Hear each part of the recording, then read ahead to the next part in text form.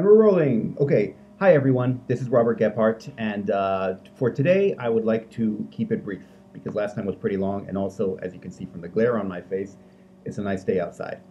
But before I go outside, I wanted to discuss invoicing, which is something that's important, I think, for everyone out there who's had a job because you probably had to issue an invoice.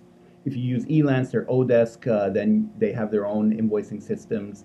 Also, um, ProZ also has its own invoicing system, but I don't know anyone who uses that regularly. So chances are you will have to issue an invoice. And in order to talk about it, I'm just going to go through one of my invoices so you can get an audio visual um, view of how it's done. I'll be posting images about of it. And, and then you can make your own mind up if you want to copy this or that or tweak this or that, um, however you wish to do. My invoices are on Excel and then I make a PDF out of those. It's pretty easy, and uh, so I can just show you how I do it. Obviously, you can you can use any spreadsheet uh, to do what I do on Excel. By the way, you don't need Excel, or you can use any program you want. It's up to you. I'm just going to go through how I do it, just so you can get an idea.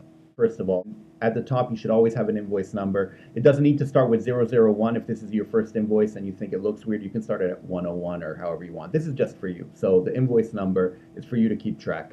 So start with that. Second of all, you have today's date. The date of issue will be today's date. And uh, so that you just fill in every time, you know, with today's date. By the way, I issue my invoices as soon as possible. I have a set time once a week, and I'm kind of lazy, so I will do it once a week. But as soon as possible is the best time to issue your invoice, since payment is usually made based on the invoice. You have the date of issue, that's today's date. Then you have bill from, and that doesn't change. That's your information. So, you know, just put it there and that you can copy for all the invoices you have. The bill to info will be your client's information. So if you deal very often with the same client, you can copy and paste that as well. You can just have, yeah, name, email, website. If they want VAT or anything else they want, just put it up there. Then, then you go down and it says for. The description here is taken from the name of the job. Here you'll use either their reference number to make their life easier or just the name of the file you have to translate or anything like that. Just so it's recognizable, you put that there. Then if your job is based on the number of words and a rate per word, then you can probably put that in there since it makes life easier. And so you have, as you can see, you have uh, the rate, the number of words, and then you have the total at the end. If you don't have a rate or number of words, just put the total at the end. Then what I do, since it's on Excel, I have that total and I rinse and repeat for each job. And at the bottom will be the total of everything. And what I do then is I replicate the total for each job in big, bright numbers in green right there, as you can see because you know you want to make sure that the client can see it. You want to make sure that it's evident right away, and you want one of my books just fell, and you want to uh, make sure that you know that there's no confusion, right? You know, so that number is right there. They can't miss it. Good.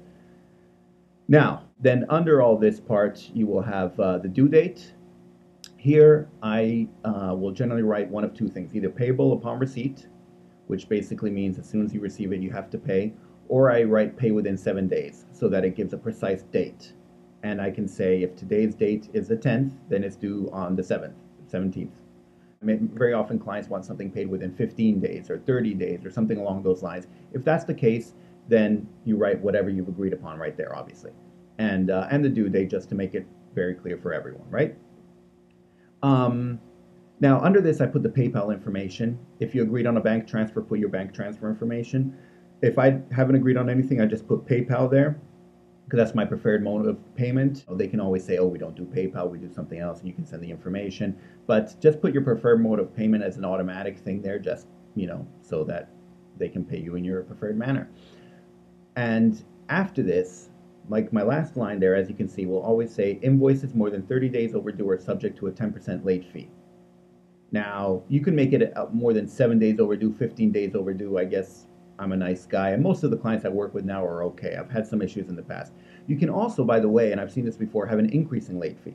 So X percent every Y number of days, you know, so that means that if they're late by a week, they pay you, but if they're late by two weeks, they pay you more, right?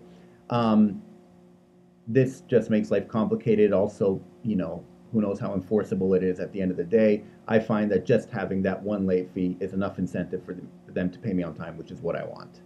Um, and then, uh, and that's pretty much it for the core of the invoice. You have everything you need right there. If they need anything extra written down, you can add it in the extra space. At least I added in the extra space right underneath. Um, but that's pretty much it. And then all you have left there is um, is my last box. That's all I have left.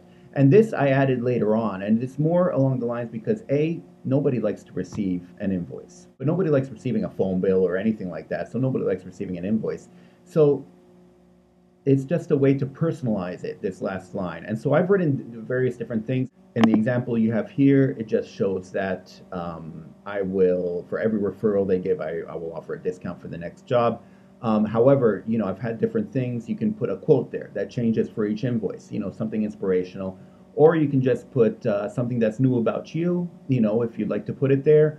Or you can just, you can also have other deals like receive a free hat or a free something with my company logo for every 10 jobs you do, you know, just anything you want. And you can change it up and switch it back and forth.